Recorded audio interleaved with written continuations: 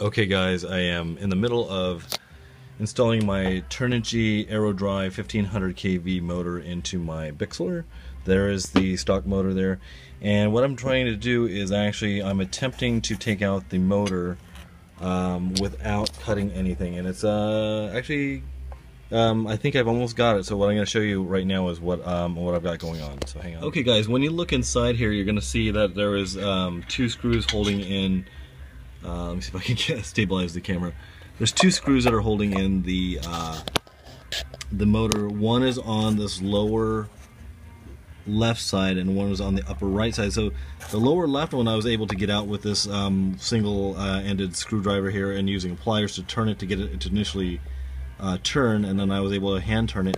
So the second one is up there. You can see where I've notched out the foam a little bit, but I can actually see that screw in there. Let me see if I can get a slightly closer view here. Piece of foam here normally comes straight across here. So what I was able to do is notch this part out. And once you notch this part out, you can see a uh, screw head that's in there. I'm going to go ahead and try and take it off right now. And I'll see if I can remove the motor without actually cutting the whole motor pod off. Okay guys, uh, here's just another shot. Um, I've got the screwdriver into the uh, area there. I've got my screwdriver on the head of the screw. Almost there. Okay. So it actually works. So you just have to do a little, you basically have to take an X-Acto knife, go inside there and just carve out that 3 o'clock position there until you can see the head of the screw. And here comes the motor. Okay guys, so I tried to take this out through the motor mount and there was just no two ways about it, so I'm to have to cut one of these off. Uh, one of the reasons I'm replacing this motor is that it is horribly out of balance. Yeah, even without the collet or the prop on there, it's just shaking all over the place. So that's going out and um, so let's see if this motor mount... Okay, so going to have you take a quick peek here. So what I've got left here is, let me move the camera around, it's my iPhone.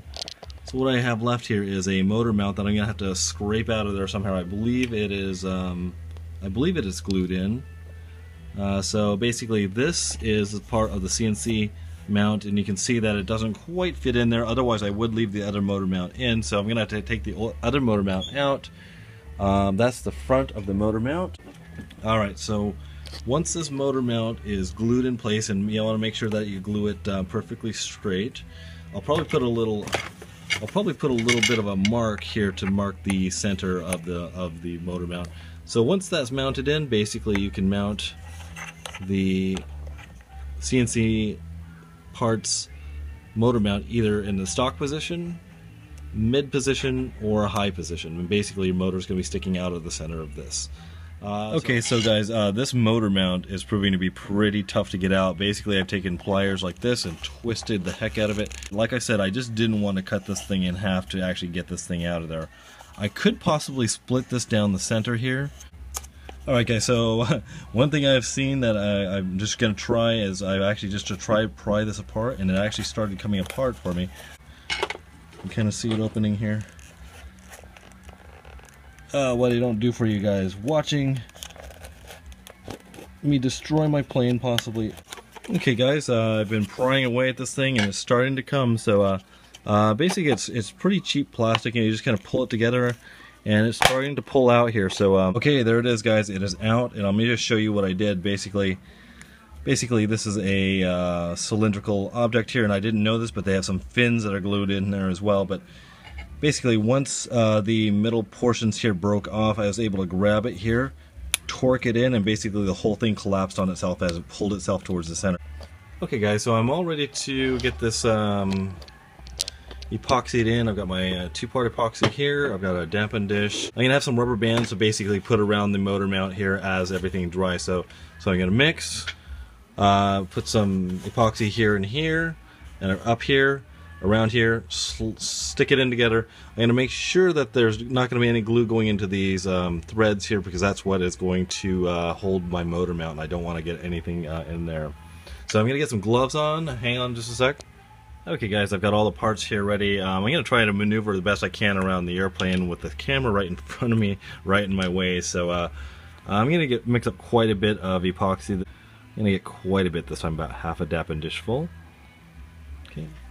In the middle of uh, mixing my mix, uh, my iPhone ran out of phone memory, so I've deleted a bunch of photos and whatnot, and here I am again.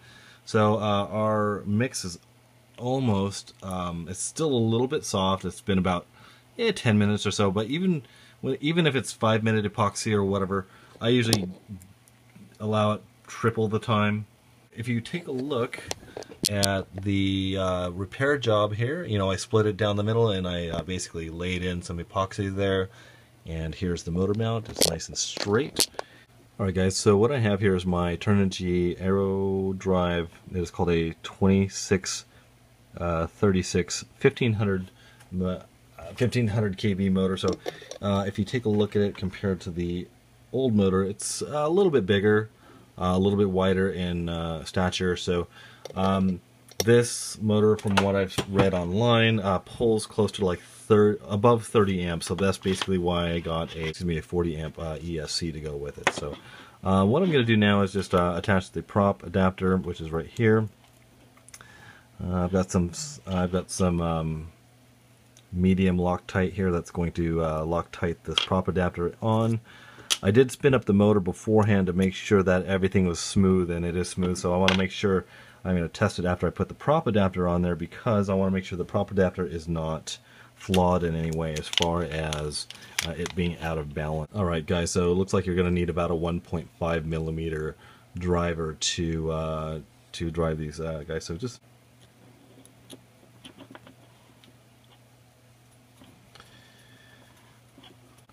Okay, so I've got those all snugged down, and now what I'm going to do is take the motor mount and mount it to the back of the motor here, and I believe uh, I'm going to have these wires coming down, and I think I can still route these wires down through the... Alright guys, so I'm just snugging these bolts down. Screws. They're not really bolts, are they? Alright, there's my motor, and it's going to be basically bolted to the outside of that um, motor mount. So let's see how that's so, going to go. This is the way you mount the uh, the motor here. Basically, it has three positions. It has a high position, which is here. And if I were to mount this in there, this basically this shaft here, either would have to cut it off or I'd cut out, shave a little bit of the uh, foam here. Uh, I like the mid position, which is right here. Uh, and that'll allow you to run slightly larger props. And then this is the stock position, which is not a bad position either. I think I'll run it in the mid position. I'm just going to make sure I'm not going to get any uh, clearance issues between this shaft and the uh, the inner parts here so it doesn't touch. I can see right now that it's not going to have any any type of uh, problem there. Why they have the shaft here, I don't know. Maybe it's for a different type of application. But uh, so I'm just going to basically bolt this in right here, and we'll get going from there. Uh, the other question is how to run these wires in a way that you can actually still plug them in and I'm still kind of wondering about that right now. So one thing that I'm going to do now here um, that I'll do off camera is you can see that this is the stock motor wires which are very very very long and these are the stock motor wires that came off of the Turnigy. So what I'm going to do now is I'm going to desolder the um, the bullet connectors, solder on some longer um, connection so I can basically run these wires all the way down this tube here and down the way it should go down into this little valley that goes into the uh, the main fuselage. Okay guys, uh, if you've never uh, joined two wires together, this is just a quick thing I'm going to do for you. I'm not going to take too much time, but what you want to do is get uh, both ends together, don't twist the ends of the wires, and basically what you're going to do uh, here is what uh, magicians call a faro shuffle, where you force one end to the other uh, and then you kind of roll it together in your fingers. The magicians don't do that, but that's what I do. So it's going to look a little bit like that. Uh, you can make it look a little bit cleaner than I do here, but I'm just going to do this for um, demonstration purposes. Uh, I like to dab just a tiny bit of flux on there just to get the solder, solder flowing, um, get a clean tip going here. Uh, get a little bit of solder going on there and just let it join. This is going to be very, very, very strong. So just let the let the solder just sit on there and join and run up the um, silicone as much as you can. Uh, you can see I've done the other two already. Uh, so like I said, I'm not going to take a little a lot on this uh, portion, but I'm obviously going to cover that over with um, a uh, heat shrink and um, we're going to move on. All right, fellas, what I have here is my motor with ex extended motor leads. I like to lead them just about as long as I can because I because I do like to position the ESC pretty much anywhere I want in the cabin. I like to keep it away from my receiver, which is right here. If I have it back here, it's going to be in the way of the receiver um, and also the uh, satellite receiver. So you can see that these motor wires are going to do a really awesome job. So there is a little snake uh, tunnel that comes through here into the cabin here. Uh, you know, if you run it any other way, it's basically going to look terrible. Uh, so basically, I'm going to run these down there. I'm going to install my motor here uh, with some Loctite as well, and I'll show you that in just a second. So I'm to start snaking these guys in here. Then you put the position of the camera. So you can see there's a little tunnel where those wires are going to go down into. And I have the other ends of the wires down here. So that's why you want to have a lot of motor wire there so you can plug it easily into your ESC. So, um, okay, once again, uh, things are going together pretty nicely here. Uh, I do wish that these um, were not Phillips head screws. Instead, I would have liked a 2 millimeter or 2.5 millimeter uh, head screw, but uh, that's just nitpicking at this point. So, so I'm getting two of the cross screws in first, and I'm going to check to make sure that, that there is no hitting of the of the shaft that's in the inside there, and there isn't any at this point, so that's a good sign. I'll get the other two in and I'll show you guys in a second. Here you go guys. This is uh, my motor mount all mounted up with my motor uh, everything went together really nicely. Uh, the screws um, fit in nicely, and they're very high quality screws and whatnot. So, um, with my lower KV motor, I was running an 8x6, uh, and with this motor combination, it's a little bit faster, uh, so you want to prop down a little bit. So I'm going to go to an 8x4, and I have a, um, a APC style one, which is what Hobby King tell, tells me to do.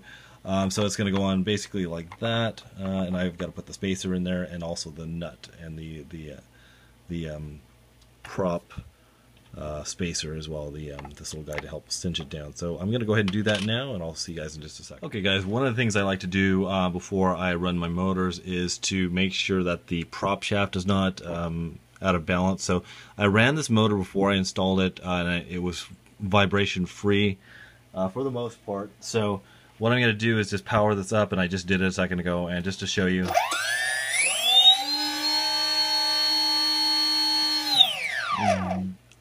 very um, smooth, no vibration whatsoever. So I'm going to go ahead and balance out my prop and make sure that that is fully balanced and then I'll do some dynamic balancing of my prop which I'm not going to go into for you guys in this video I might do a video on that just later. a quick little uh, video here just to want to show you that I have my prop balanced. Okay, so here's the um, video of the how many amps and watts it's going to pull. Let me see if we can get that better in focus here without so much glare. Okay, let's try that.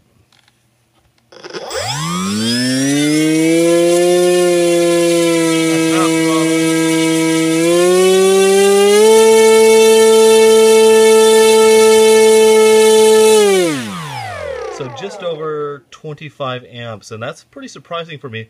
So what I'm going to do now is just uh, pop the 8 by 4 excuse me, this is the 8 by 4 inch prop right now. I'm going to put the 8 by 6 inch prop, or 8 by 6 pitch prop, I should say. So I'm going to turn everything off, and uh, we'll try that. Okay, so guys, let's uh, see what the 8 by 6 inch prop with this Turnigy AeroDrive um, monster is going to do. Uh, so let's uh, go ahead and power it up here.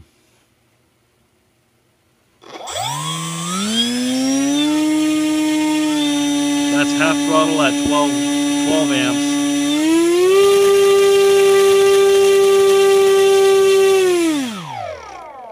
So 31 uh, amps at full speed. So, um, so I'm going to probably take both of these. Uh, I'll probably take both of these props to the field. I'll probably run um, uh, the more efficient four uh, pitch at the field, and then I'll try it probably try the six and see how things go. So, anyway, guys, I hope this helped you guys out um, as far as what uh, motor to get. Possibly, I'm going to try out this motor. It's really nicely balanced out of the package. Um, I'll see how it runs, and uh, and I'll have to renegotiate my um, CG with this added weight back here, bigger motor, so I'll probably have to put a little bit more weight in the nose, which is not a problem because when I run two batteries up front, I do have to space them back into the cab into the cavity. So um, Um, hopefully you guys enjoyed this video, and I'll talk to you later. Bye.